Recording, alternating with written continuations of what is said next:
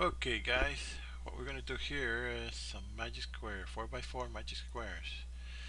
And I believe I got the yellow here. This is how it's going to go. We're going to make a little box here.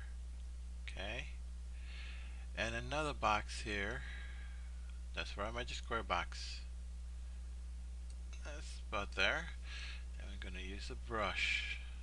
See, we're going to make lines. We're going to split this up in half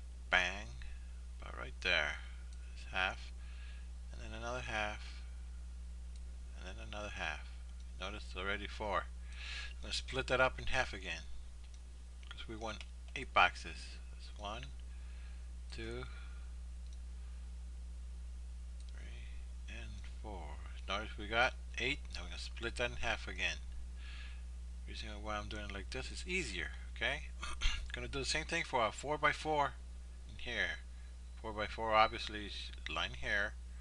And if you see another line here, and going to split the whole thing up again. Line here. Okay a line here. And another line here. You'll see this forming like a 4 by 4 square. Bingo here we go. Not what you're going to see here. We're going to start putting numbers. If you count down from here, one, two, three, four, this is where you're going to start. Zero, one, two, three. Put numbers all the way up there, okay? We're going to start with the yellow one. Okay, we're going to get ink, pencil. One, two, three, four. We're going to start right here. Zero. Okay, one, two, three. See it? We're going clockwise. You notice from here all the way around clockwise you're going to go all the way around.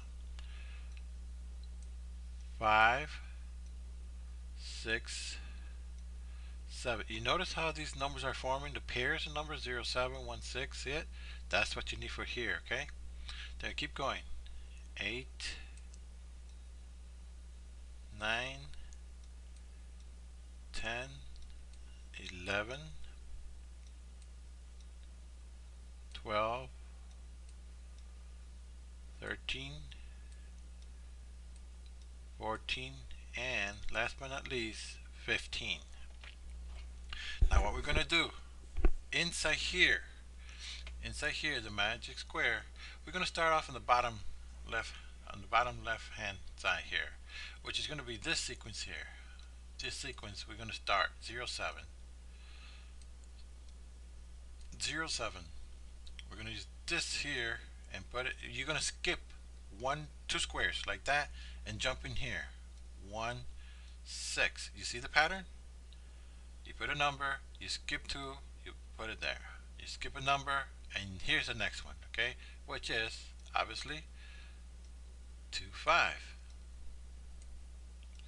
simple right? You're gonna skip one and here you're gonna put another number which is 3 4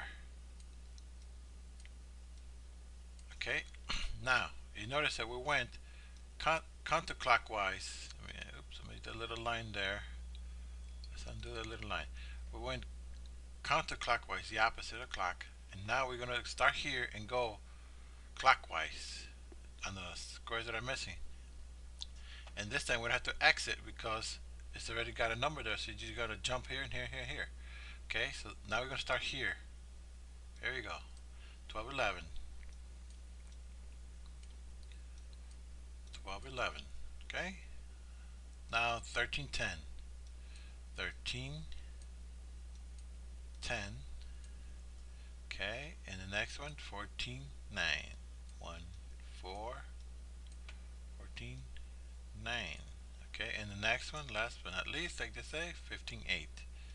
1, 5, 8.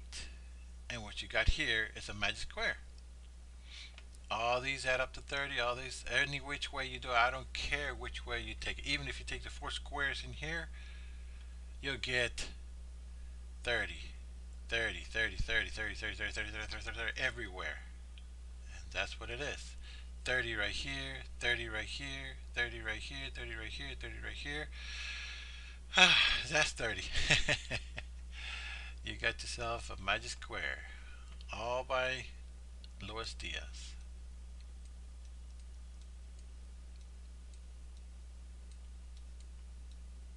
Thanks guys and spread it around. Practice with it. I had one of these magic square and I analyzed it and what I came up with was this little chart here for easy recognition of the sequence of numbers, the pairs of numbers. So just remember it's counterclockwise here, see it? Clockwise here, sorry, clockwise here and then you start counterclockwise here and then clockwise here, okay? That's it. Enjoy your 4x4 magic square.